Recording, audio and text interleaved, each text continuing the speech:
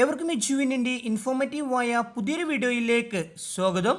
പുതിയ പത്താം ക്ലാസ്സിനും plus ടുവിനും May മാസത്തിൽ ക്ലാസുകൾ തുടങ്ങാൻ വിദ്യാഭ്യാസ വകുപ്പ് ഏകദേശം തീരുമാനിച്ചിരിക്കുന്നു. പ്ലസ് വണ്ണിനും ഒന്ന് മുതൽ ഒമ്പത് വരെയുള്ള ക്ലാസുകളുടെ കാര്യത്തിലും പിന്നീട് തീരുമാനമെടുക്കും. വിശദമായ വീഡിയോയിലേക്ക് കിടക്കുന്നതിന് മുമ്പായി ഈ വീഡിയോ പരമാവധി വിദ്യാർത്ഥികളിൽ എത്തിച്ചേരുന്നതായിട്ടുണ്ട് അതിനാൽ ഈ വീഡിയോ ആദ്യം ഒന്ന് ലൈക്ക് ചെയ്യുക.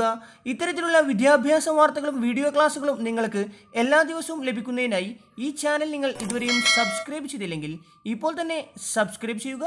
അതോടൊപ്പമുള്ള ബെല്ലൈക്കണിലെ ഓൾ ഓപ്ഷൻ എനേബിൾ ചെയ്തു വെക്കുക. രണ്ടായിരത്തി ഇരുപത്തിയൊന്ന് ഇരുപത്തിരണ്ട് അധ്യയന വർഷത്തേക്കുള്ള നാൽപ്പത് ലക്ഷം പാഠപുസ്തകങ്ങളാണ് ഇനി അച്ചടിക്കാനുള്ളത്.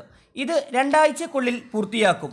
പത്താം ക്ലാസ്സിലെയും പ്ലസ് ടുവിലെയും പരീക്ഷകൾ നടക്കുന്നതിനാൽ പാഠപുസ്തക വിതരണം ഇപ്പോൾ നിർത്തിവച്ചിരിക്കുകയാണ്. വോട്ടെണ്ണലും പരീക്ഷകളും പൂർത്തിയാകുന്ന മുറക്ക് മറ്റ് ക്ലാസ്സുകളിലെ പുസ്തകങ്ങൾ വിതരണത്തിന് തയ്യാറാക്കാനാണ് സൊസൈറ്റികൾക്ക് ഇപ്പോൾ നിർദ്ദേശം നൽകിയിരിക്കുന്നത്.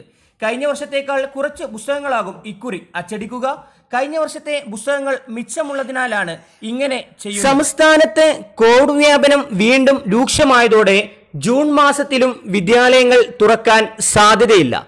എന്നാൽ പത്താം ക്ലാസ്സിൽ മാത്രം മെയ് ആദ്യവാരം ഓൺലൈൻ അധ്യയനം ആരംഭിക്കാനാണ് പൊതുവിദ്യാഭ്യാസ വകുപ്പിന്റെ തീരുമാനം. അതായത് ഇപ്പോൾ ഒമ്പതാം ക്ലാസ്സിൽ പഠിക്കുന്ന വിദ്യാർത്ഥികൾക്ക് മെയ് ആദ്യവാരം പത്താം ക്ലാസ്സിനുള്ള ക്ലാസുകൾ ആരംഭിക്കാൻ സാധ്യതയുണ്ട്.